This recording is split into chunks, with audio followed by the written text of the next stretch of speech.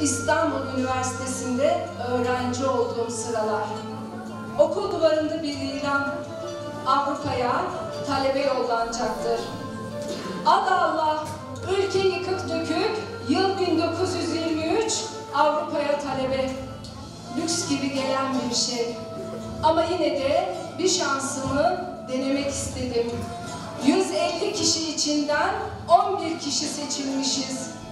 Benim ismimin yanına Atatürk, Berlin Üniversitesi'ne gitsin diye yazmış.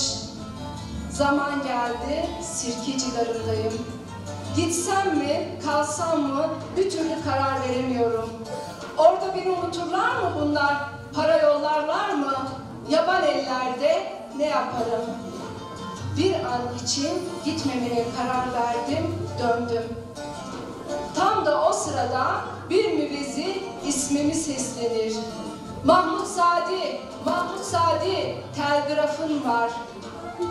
Telgrafı açtım, aynen şunlar yazıyordu. Sizleri birer kıvılcım olarak gönderiyorum, alevler olarak geri dönmelisiniz. Var mı böyle bir şey?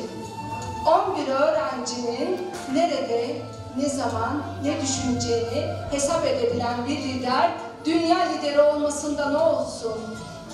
Yıl 1923.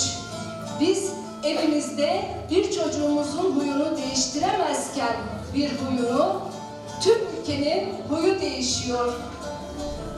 Bunu kendine iş edinmiş bir insan yolladığı 11 öğrencinin nerede, ne zaman, ne düşüneceğini hissedebiliyor.